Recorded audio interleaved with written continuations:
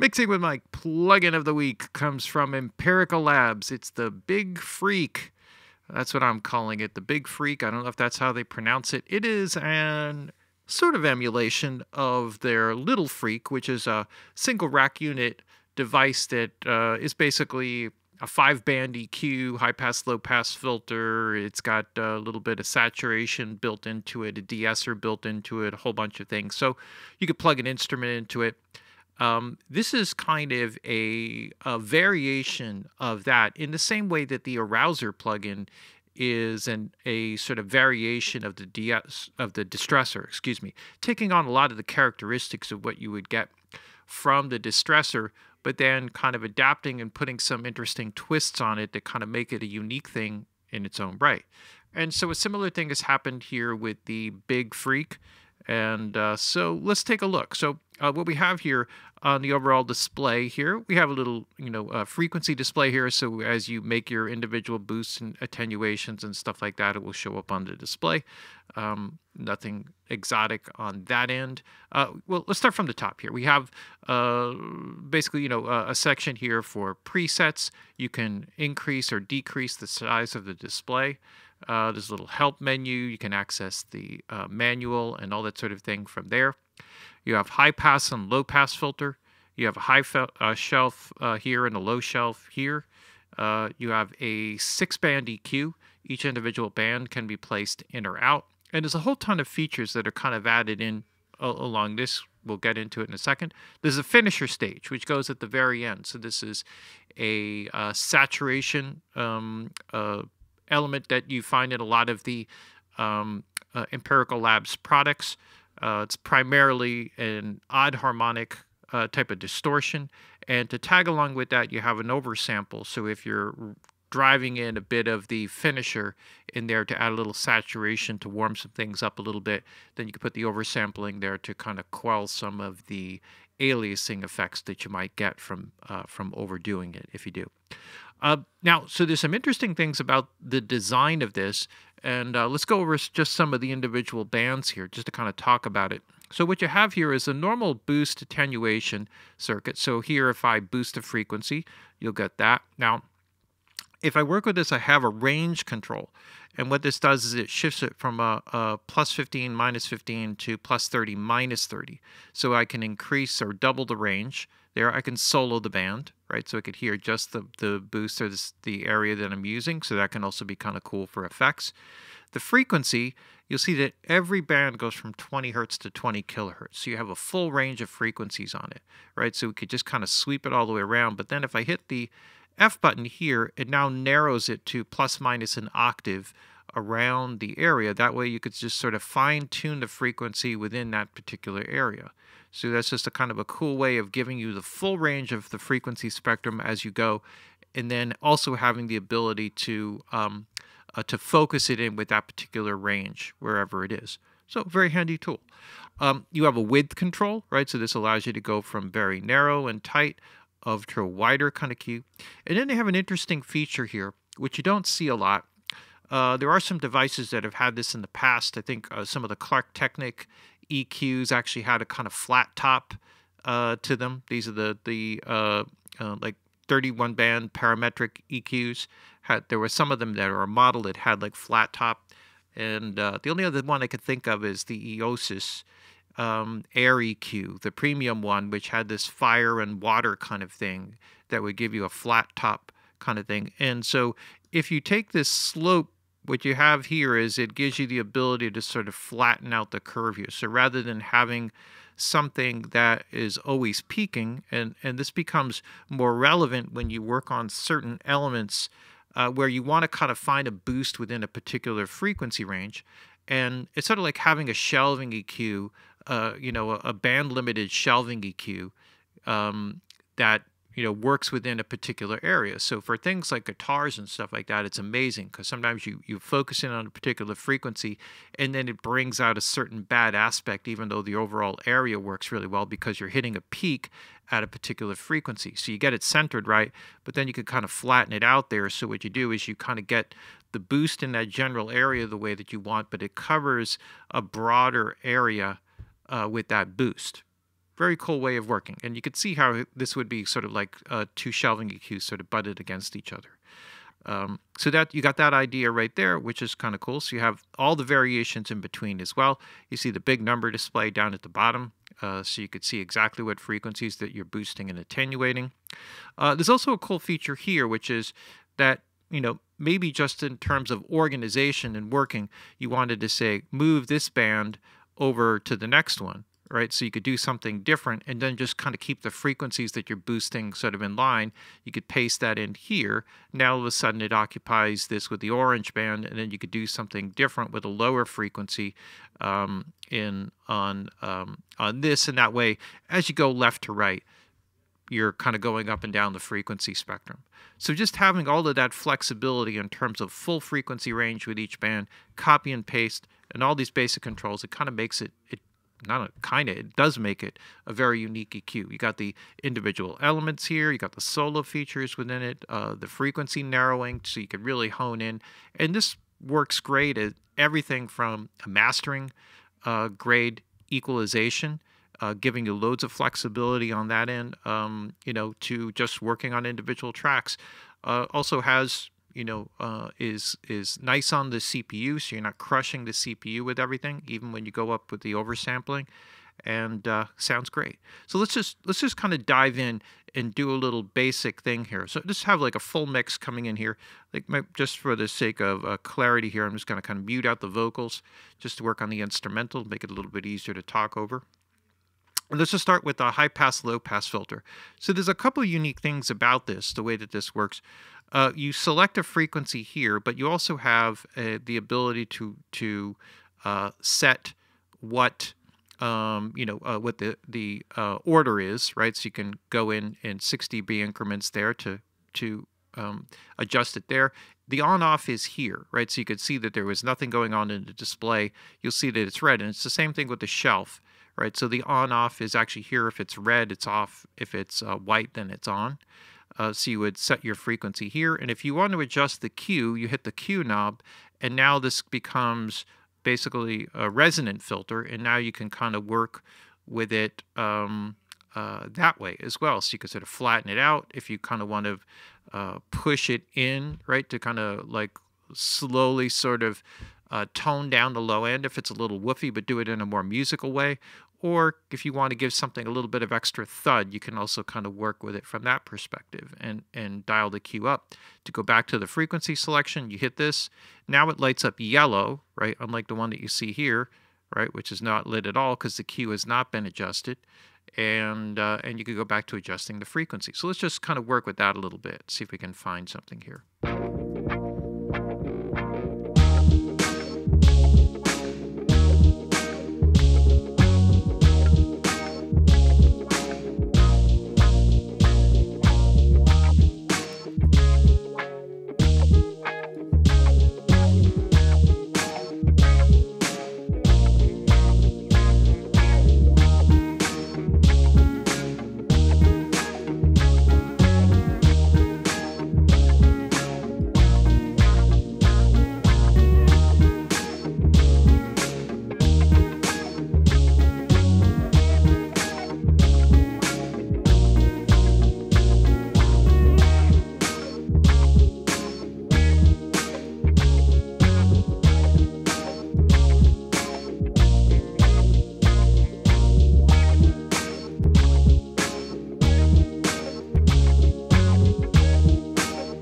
Just that little bump there on the bottom and the top and just kind of uh, tightening it up a little bit, you know, adds like a nice, you know, overall texture uh, to the sound. You know, uh, you know, kind of framing it, I guess, is is one way to say it. Um, the shelving EQ is kind of interesting, and and let's kind of go over this next. The low shelf is fixed at a frequency of 120 hertz. Now, in the documentation, the high shelf they don't designate uh, what frequency is, but it looks like just from you know just from running it that it's somewhere like around 10k. That that's what the um, that that's what the shelf is. So it's at a fixed frequency. So I know that's going to bug you out here for certain things, but I'm going to show you how you can sort of compensate for that uh, working with the other bands. So for example, let's just say that uh, I wanted to go back here to the Q and maybe set that to its kind of normal uh, setting here or, or maybe just kind of set it so it's more or less flat. I could use the high shelf as sort of a tilt kind of coming up, and you'll see that as I kind of go with this here. So here we go.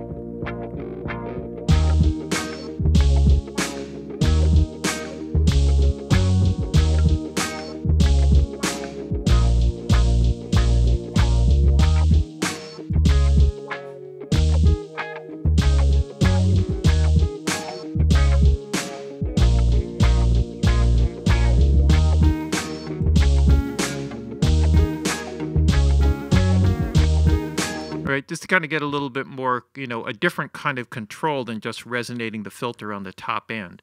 So that's fixed in. Let's just say that you don't like that. Another way to work this would be to work within a band up on the top end frequency. So let me just take the low pass filter just so we can kind of see what's going on here. So let's say I do a boost here. I'm going to shift the frequency down a little bit. But now what I do is I, um, you know, I can, well, I'll, I'll adjust the width in a second, but I just flat top the thing out and then um, I'm going to shift the frequency up higher over here. So if I kind of push this up, now effectively, um, by pushing this up on the top here, I can now use the width control to sort of extend the shelf outward, you know, into an area where, where I want. And essentially, I'm, because I'm pushing up above the frequency spectrum here, I can extend this down um, to uh, effectively get the same kind of thing as a shelf. And if I want to soften it a little bit, right, I can just lay this out, pull that back on the flat top, right, and then kind of kind of grad you know gradually drag it up a little bit more. So let me kind of pull it back a little bit more into a more mastering grade range here, and let's uh, follow along with that.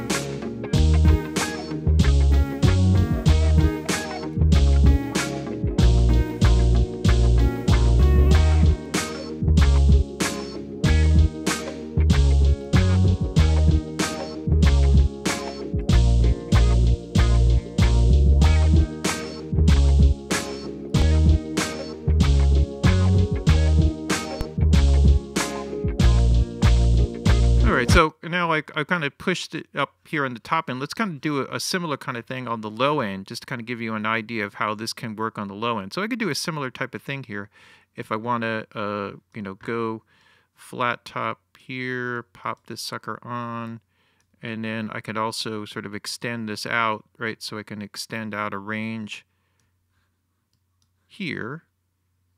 And, uh, okay, that's my frequency. I can control the width. Let me just adjust the frequency here. This is what I meant to do. And now I could just kind of push in with this guy. Let me lift it a little bit, sort of extend it out. Okay, here we go.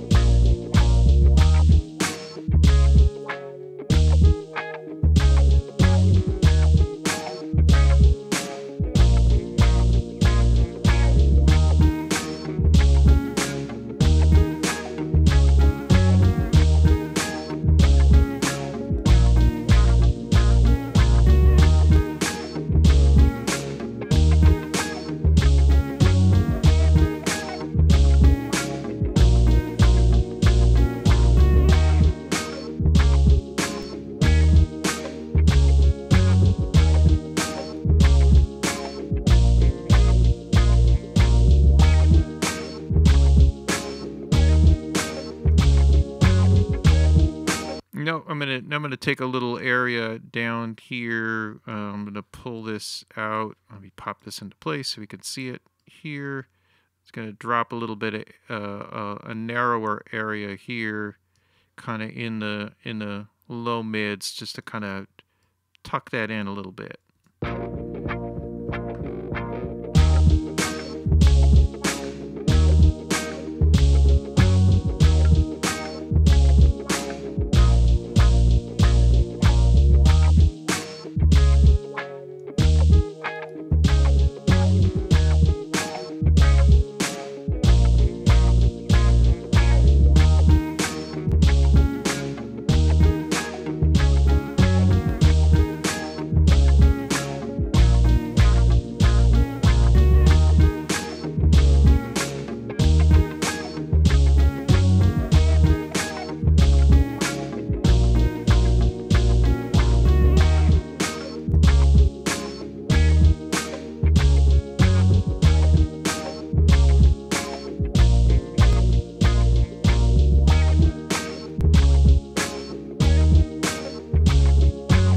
Hear just even with some subtle adjustments how you can really kind of open things up here a little bit. This is a sweet EQ. I mean, I've I've experimented a bit, mostly with uh, mastering and kind of using. You could hear how clean it sounds, um, and then you know if you start driving into this, working on individual drum tracks and things like that, you can also uh, just you know even just working on uh, let's just say here, let's just call this up here, just to use the finisher, just for saturation purposes, just for the drums.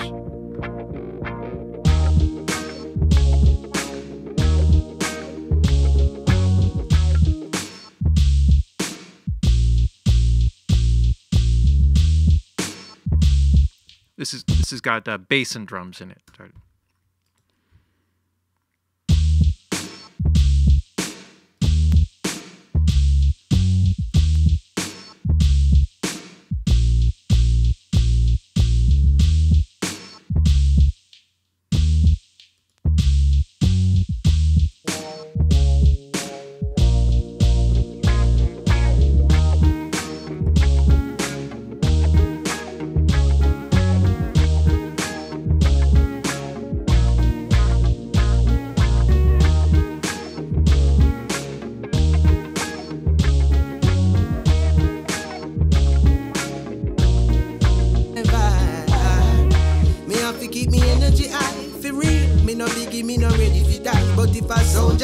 Then me ready fi fly. Like a bird in the morning, me take to the sky and spread me wings like a eagle. I soar high over people. Play this in your vehicle. Your headphones are your Bluetooth speaker. This a the stress reliever. I'm feeling good, I'm feeling fine. Now ain't now gonna make nobody blow my I'm feeling good, I'm feeling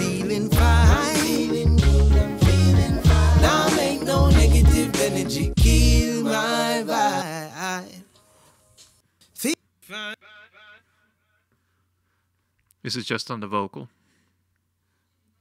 I think. There it is. Me get up and me fresh up and say yes, Lord. Yes, Lord. Me dress up with the best up on me left yard. A straight positivity me manifest and me know upon my blessings. John and go press pause. Go down a head tracks, that's the best part. Cliff line up already, me have a tune for bless hearts. Tell them how me feeling and what we dealing with.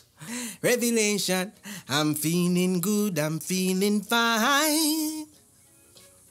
Now make now go make nobody blow my eye. I'm feeling good, I'm feeling fine. Now make no negative energy kill my vibe. Me have to keep me energy high real. Me no biggie, me no ready fi die. But if I sound just say, then me ready fi fly. Like a bird in the morning, me take to the sky and spread me wings like a eagle. I soar high over people. Play this in your vehicle. Your headphones are your Bluetooth speaker. This a the stress reliever. I'm feeling good, I'm feeling fine.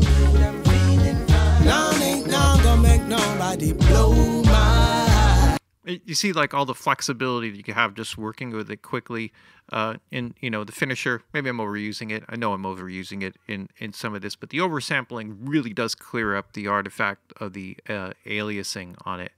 Um, and uh, this is uh, one that uh, just very very recently came out so i've had a small amount of time to play around with it and uh, so far i really enjoyed it. I think it's really a great um, addition uh, to their collection. Well, collection. This is their second uh, plugin release outside of the ones that have been released um, emulations by other companies like Universal Audio. Uh, but a great addition, and uh, glad to see that Empirical is uh, moving into um, you know more plugin software kind of things. Uh, I love the Arouser. That's a, that's a um, a big favorite of mine in a lot of sessions. Because it has some unique features that you don't get from the distressor. And um, this is, I'm not familiar with the Little Freak, but uh, the Big FrEQ here is uh, working so far for me. So I'm really digging it. All right, there you have it. There's the um, Empirical Labs Big FrEQ. It is Mixing with Mike's plugin of the week.